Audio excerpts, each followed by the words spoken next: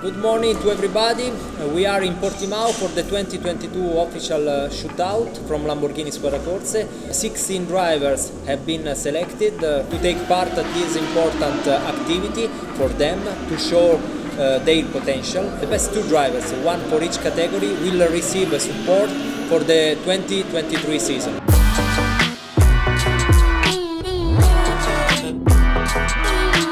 Hi guys, it's Danny Formal. I'm here in the Young Driver Shootout program. Uh, this is my second event in the in the shootout. Uh, it's been going super well.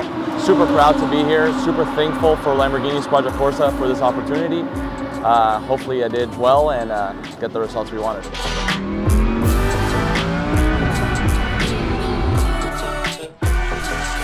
I'm Leonardo Pulcini. I've just finished uh, race simulation.